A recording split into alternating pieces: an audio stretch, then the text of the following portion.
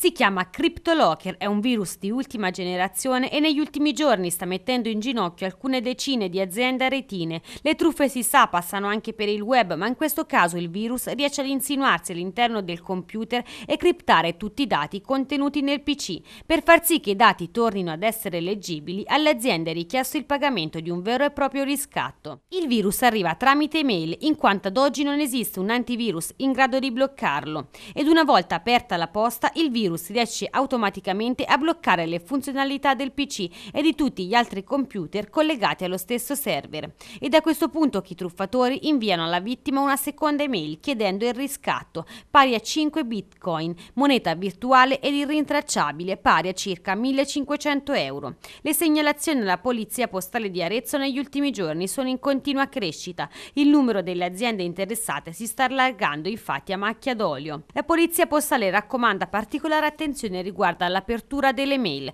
consigliando di leggere solamente quelle ricevute da utenti conosciuti, altrimenti di aprirle in un PC non collegato al server, evitando così di infettare l'intera rete. L'altra raccomandazione è quella di non pagare assolutamente il riscatto, ma di chiamare un tecnico per ripristinare la funzionalità del o dei computer interessati. Ultimo consiglio, ma forse il più importante, è quello di eseguire backup costanti del contenuto dei computer.